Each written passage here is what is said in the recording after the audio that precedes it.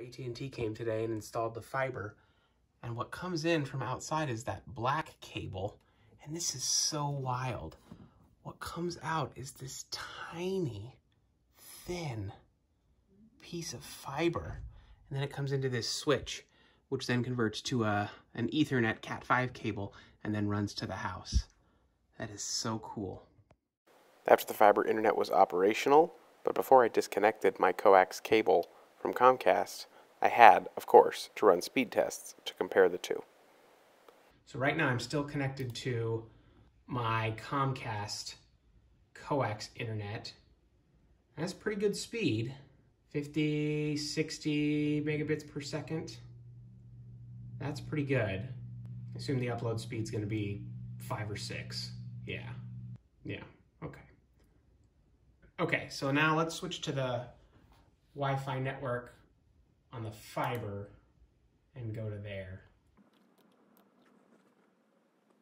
All right, connected.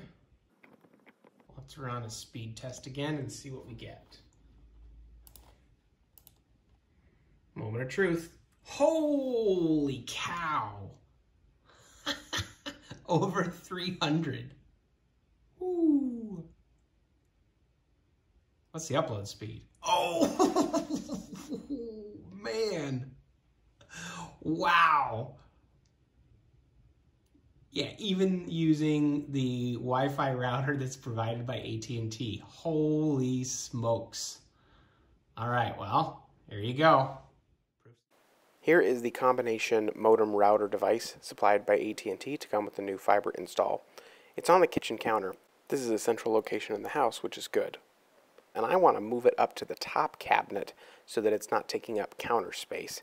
And what I also want to do is to drill a hole into that top cabinet that is not visible from down below. So I've got this pill pack, the days of the week pill pack that I put up there as a visual reference. So those bottom two days, purple and teal, are not visible when you stand down on the kitchen floor. So I think if I drill my hole, yeah, if I drill my hole lower than that, the hole should not be visible.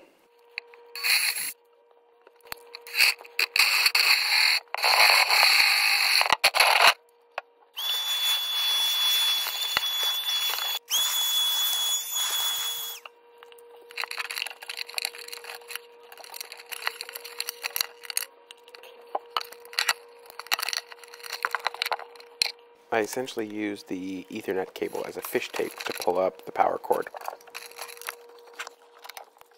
I then connected my existing Netgear Nighthawk router to one of the output ports on the fiber modem.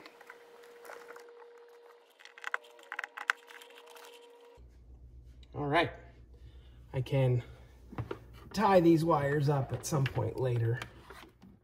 And there you have it, high-speed fiber internet, centrally located in the house, working great.